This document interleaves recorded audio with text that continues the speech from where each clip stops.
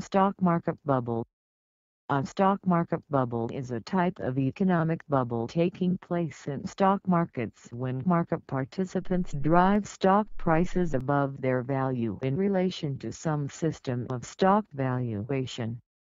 Behavioral finance theory attributes stock market bubbles to cognitive biases that lead to groupthink and herd behavior.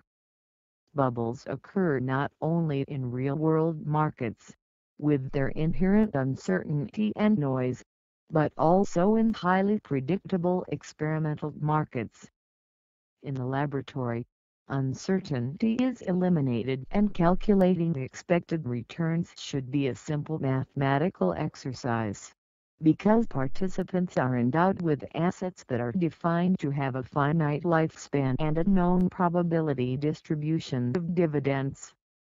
Other theoretical explanations of stock market bubbles have suggested that they are rational, intrinsic, and contagious.